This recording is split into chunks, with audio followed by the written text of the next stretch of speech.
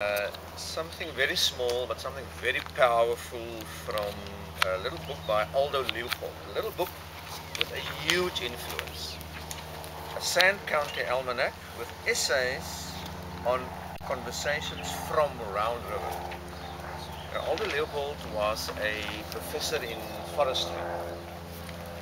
Uh, but he was a student, he was uh, trained by a guy called Gifford Pinchot David Pinchot started to put in the USA the uh, Forestry Service in a, in a kind of a, uh, on a scientific basis.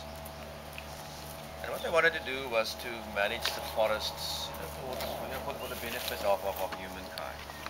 So as, as a young person, uh, Aldo Leopold was sent to uh, a certain part in the Rockies and there he had a certain experience and he tells this story in which which he refers to as thinking like a mountain. So I'm just going just to read that to you.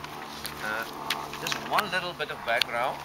Uh, Aldo Leopold lives from 1878 until 1948 and he wrote essays theoretical essays just expressions of himself. Uh, and it was uh, uh, published one year after his death in 1949. So these writings became an inspiration of the American, also uh, the worldwide environmental ethics movement. So thinking like a mountain. A deep, a deep chesty bawl echoes from rimrock to rimrock, rolls down the mountain and faded into the far blackness of the night.